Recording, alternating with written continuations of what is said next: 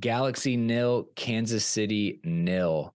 Um, despite the scoreline being zeros, it was actually a bit of an interesting game. It was. There were a lot of chances. Um, 30 shots from Kansas City, if you don't mind me saying. 30 shots. What? I did not know that. 11 Um, shots on goal. You don't you don't have to wonder why Bond was goalkeeper team of the week. That explains that explains a lot. When was the last time you made 11 saves in a game? Um, I don't know. That'll- I can remember.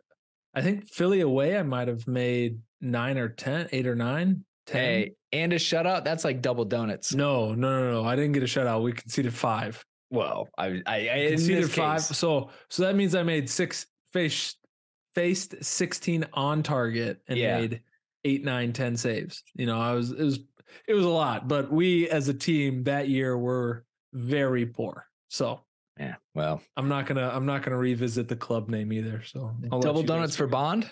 double donuts for Bond for sure. Anything over 15 and a clean sheet, absolutely.